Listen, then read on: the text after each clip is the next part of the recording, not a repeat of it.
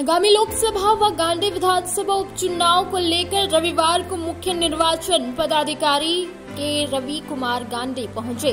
इस क्रम में मुख्य निर्वाचन पदाधिकारी श्री कुमार ने गांडे के बुद्धू पंचायत के उत्क्रमित मध्य विद्यालय पुत्रिया व उत्क्रमित मध्य विद्यालय जोरासिमर, जामजोरी पंचायत स्थित बूथ नंबर 305 और अहिल्यापुर पंचायत अंतर्गत बूथ नंबर दो सौ बिरानवे व दो सौ तिरानवे मध्य विद्यालय अहिल्यापुर का निरीक्षण किया।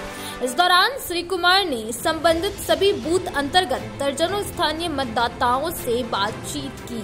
इस दौरान बूथों में एएमएफ पानी, बिजली, शौचालय, पहुँच पथ व रेप का भौतिक सत्यापन भी किया गया। मौके पर जहाँ पानी, बिजली, शौचालय आदि की व्यवस्था में त्रुटियाँ पाया गया, उस त्रुटियों को शीघ्र ही दुरुस्त करने का निर्देश दिया।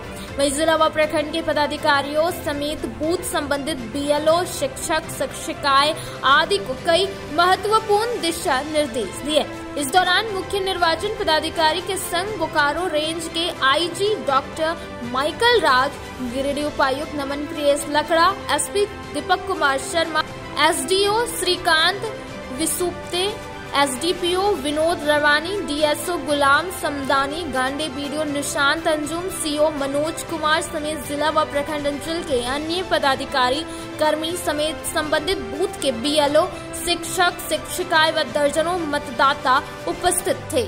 कांडे में चार बूथ का देखा उसमें वहाँ पर जाके बूथ अवेयरनेस ग्रुप का क्या तैयारी है वालंटियर्स के बारे में।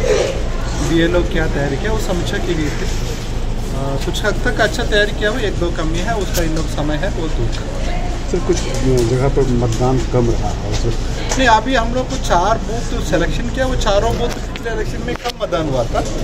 उसका देखने के लिए हम लोग समीक्षा करने के लिए आया इसी बार मेरे उम्मीद है अच्छा मतदान। वो, वो चार जगह कौन कौन है सर? हम लोग यहाँ पर कांडे में दस बूथ ये हमारा उत्क्रमित मध्य विद्यालय पुतरिया। उत्क्रमित मध्य विद्यालय जोरा सीमर ग्राम पंचायत भवन जामजोरी और यहाँ पे है मध्य विद्यालय अहियापुर